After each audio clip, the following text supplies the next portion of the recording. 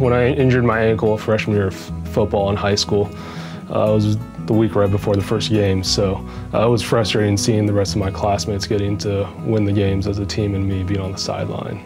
If you can communicate with the athlete that, hey, I've been in your shoes, I get what you're saying, I get that the game's important, but my goal is to get you through the rest of the season or through the rest of your career or, you know, at some point everyone has to stop playing sports and, and have a career in something else and making sure you're healthy for that life.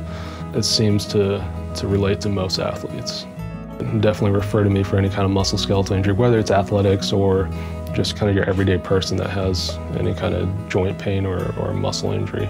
The big thing I do is concussion management, uh, credentialed ImPACT consultant. It's a neurocognitive test on the computer that most major league sports in the U.S. use. And so it's just a, another tool that we can help guide us in managing concussions and getting the kids back to the field safely.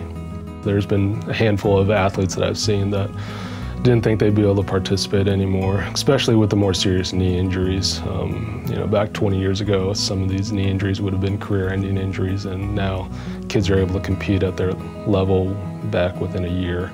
That's one of the reasons why I like to cover the, the events too on the sideline, whether it's for the high school football games or for Washburn University. Uh, seeing the kids that have gone through all the rehab process and seeing me in clinic for follow-ups, they get really happy that they get to be back to where they thought they couldn't be before.